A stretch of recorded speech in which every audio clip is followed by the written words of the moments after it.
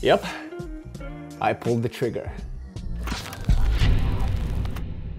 Before I start this video, I want to show you something crazy. The following sequence you're about to see was shot using S-Log3, 10-bit 42 colors, and ISO ranging from 12,800 to 100,000. Yeah, I'm not kidding. You're about to see some clips recorded with 100,000 ISO. Enjoy!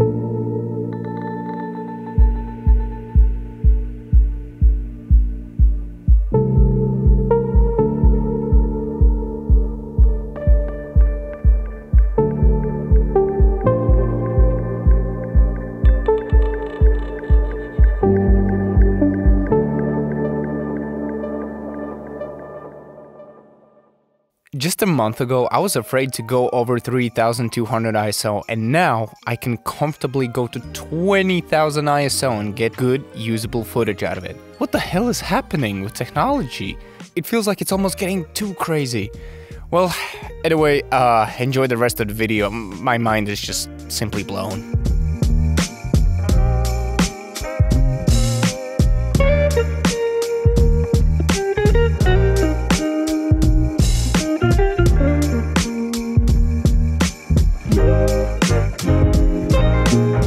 I thought this day would never come. It's finally mine!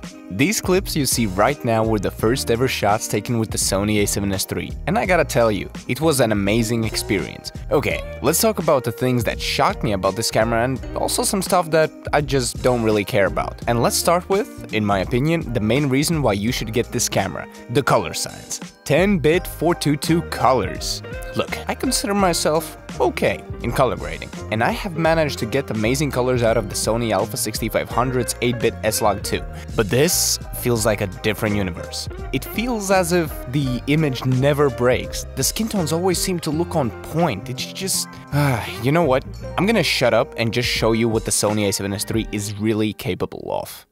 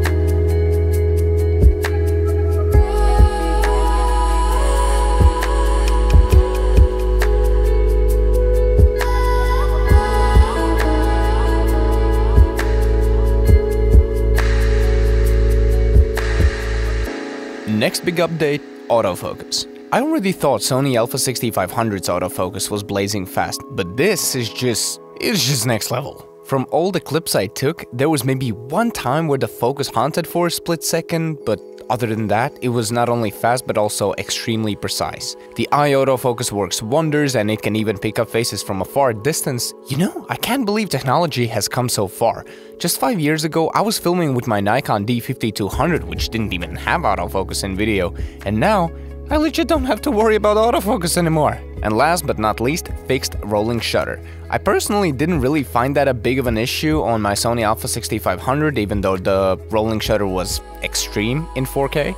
But now that I've gotten many handheld shots with the Sony a7S III, they just look way more natural and pleasing to my eye. And now when I do handheld shots with my Sony Alpha 6500, I can immediately see that jello effect, which is pretty annoying now.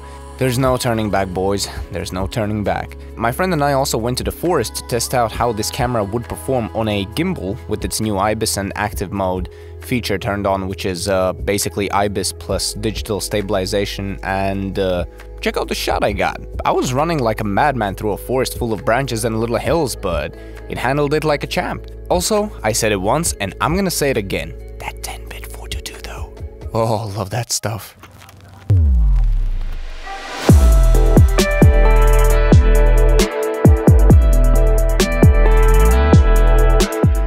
4K 50 and 4K 100p look amazing, and I see myself shooting in 4K 50 most of the time. I also tested out the 4K 100, but honestly, I don't think I'm gonna be using it all that much, but it's a cool feature to have. The improved IBIS as well as active mode work great, the new menu is definitely a welcomed feature, however, I actually found the flippy screen on the Sony a7S III to be a little bit uncomfortable. I will probably be the only one in this entire world to say this, but I prefer the old tilting screen on the Sonys. Yup, I said it. Please don't hate me. This flippy screen also feels so fragile, I just don't like it. And what about touchscreen? Nah, don't care. I find it much faster using buttons to navigate through the menus, although the touch to focus is a great add-on. Anything else? Hmm. I kind of can't get used to the grip. I think it has a weird feeling to it, but let's give it a bit of time. And what about low light? 12800 ISO in S-Log 3. The image is extra crisp and clean. What else do you need to know really? Still the low light king right there. This camera isn't an upgrade to me. It's a new era. It will be my partner in crime for at least the next 5 years and I'm looking forward to discovering the ins and outs of this camera. You know what's the best thing? I was only able to get this camera because of you guys watching our videos. The opportunities we've gotten in the last couple of years are all because of you watching our videos. So I wanted to thank you from the bottom of my heart for giving us the chance to follow our dreams and advance in our crafts. Thank you all so so much and with these new cameras I would say this marks a new era not only for myself but for Dream Duo Films as a whole.